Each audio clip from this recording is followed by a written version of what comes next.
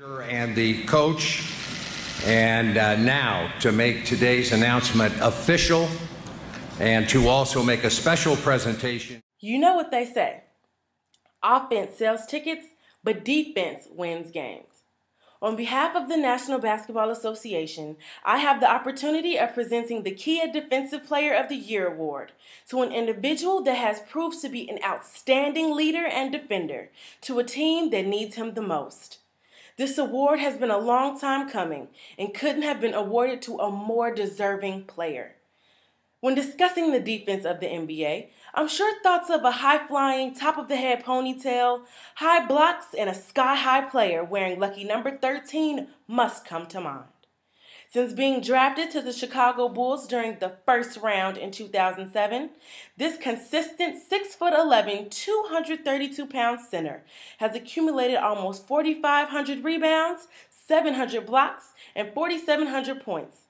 This season alone, he averaged about 13 points, 11 rebounds, and 5 assists per game. To all my NBA fans out there, that's about a double double per game.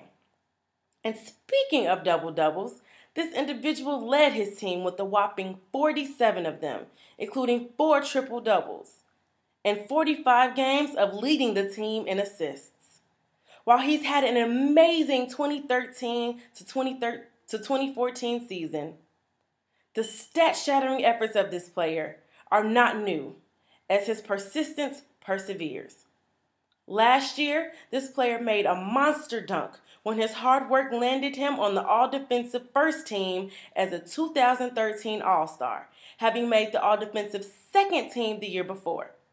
His persistency on the court in early practices and late workouts allowed him time to move up the defensive ladder and lead him to this very moment in receiving this award tonight.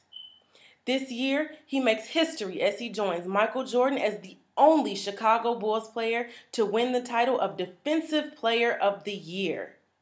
As a player, he is always improving, but he sets the time and the team with his amazing attitude. It's not easy carrying the weight of a team. Being the first player at practice, the last one to leave, and the face of the team at community events. But you never know it wasn't easy because this smile lights up a room.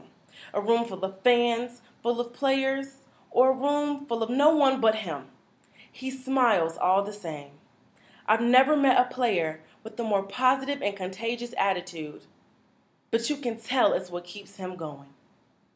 Ladies and gentlemen, join me in honoring a mentor, community leader, and friend, Joakim Noah. Congratulations, Joakim.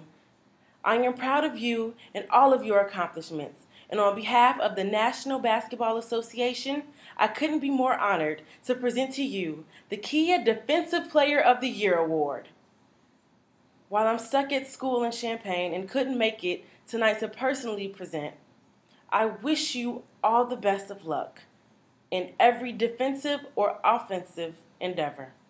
Again, Congratulations, Joakim. Go Bulls! And see you soon.